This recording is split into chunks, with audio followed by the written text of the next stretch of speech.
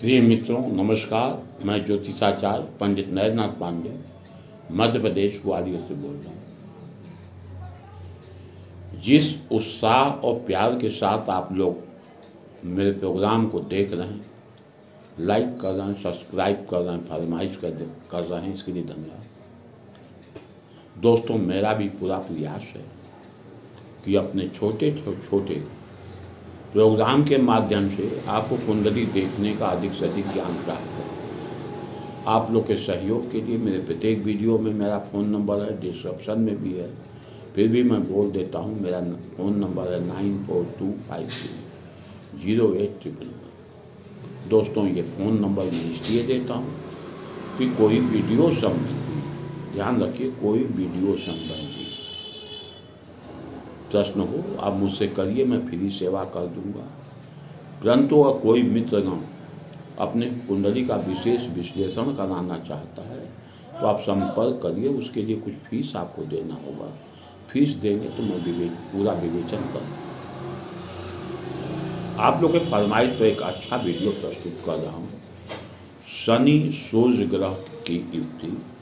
कुंडली के किन किन भाव में अधिक खराब होता है, क्या प्रभाव देता है, क्या हानि देता है, क्या लाभ देता है? इसको अवश्य सुनिए और इस, इसका ज्ञान प्राप्त करिए।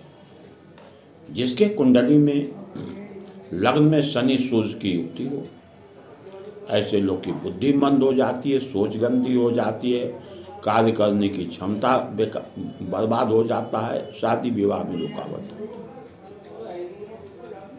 इसकी कुंडली में लग्न से चौथे भाव में शनि सूर्य की युक्ति हो।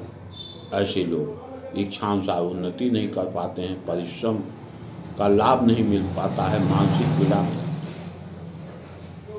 जिसकी कुंडली में। पाँचवें भाव में शनि सूर्य की युक्ति हो।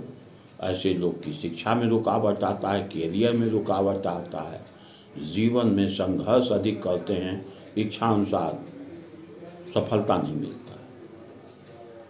जिसके कुंडली में, लग्न से सातवें भाव में शनि सूर्य की युक्ति हो, ऐसे लोग की शादी विवाह में रुकावट आती है।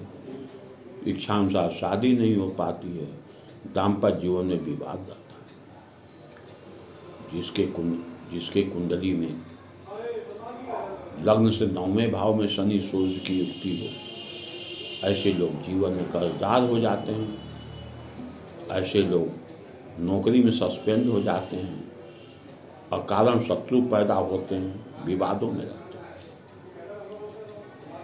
जिसके कुंडली में लग्न से बारहवें भाव में शनि सूर्य की युक्ति है।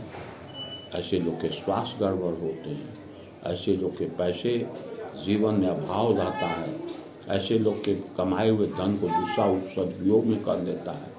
ऐसे लोग अंधविश्वासी होते हैं, जिसके कारण ये अपने जीवन की अधिकांश कमाई को बर्बाद कर देते हैं। ये छोटा सा, बहुत छोटा सा ये वीडियो मैंने प्रस्तुत किया। इसको सुनिए। सुनने के बाद इससे संबंधित कोई प्रश्न हो तो मुझसे संपर्क करिएगा। मैं प्रयास करूँगा आपके उत्तर को देने के लिए। इतना का तो वीडियो समाप्त कर रहा हूँ। नमस् नमस्कार।